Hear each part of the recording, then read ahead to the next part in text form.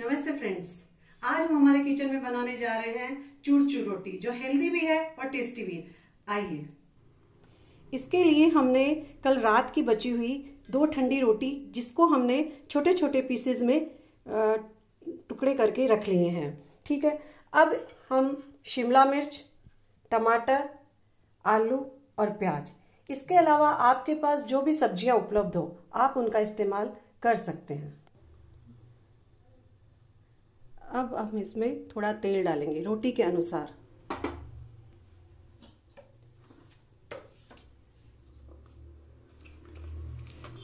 तेल गरम होने पे हम इसमें जीरा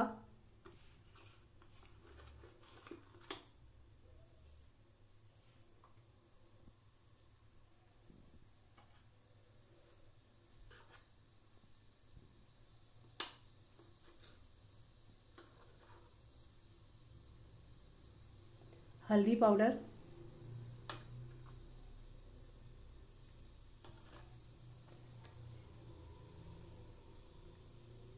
फिर हम इसमें सारी सब्ज़ियाँ फ्राई कर लेंगे। जैसे कि शिमला मिर्च, प्याज, आलू और टमाटर। आप इसमें कुछ और सब्ज़ियाँ भी ऐड कर सकते हैं। जिससे बच्चों को बच्चों के पेट में, बच्चों की थाली में बहुत सारी सब्ज़ियाँ जा सकती है। ऐसे बच्चे खाने से आनाकानी करते हैं, लेकिन अगर ऐसे मिक्स करके अपन बच्चों को खिलाएँगे तो बच्चों के पेट में सब्ज़ियाँ भी जाएगी, बच्चों के लिए हेल्दी भी रहेगी। अब हम इसमें आपके बच्चे अगर तीखा खाते हैं तो आप मिर्ची ज़्यादा डाल सकते हैं और कम तीखा पसंद करते हैं तो आप अपने बच्चों के हिसाब से इसमें मिर्ची मिलाइए। और नमक स्वादानुसार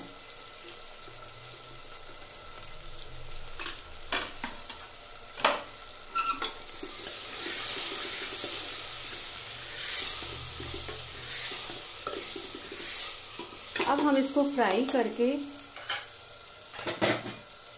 आधी कटोरी पानी डालेंगे। और कुकर बंद करके इनको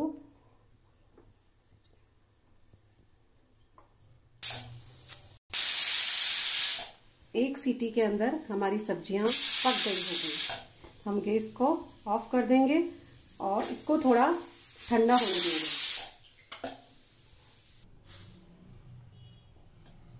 सब्ज़ियाँ हमारी पक चुकी है। अब हम इन पकी हुई सब्जियों में हमारी चूरी हुई रोटियों को मिक्स कर देंगे।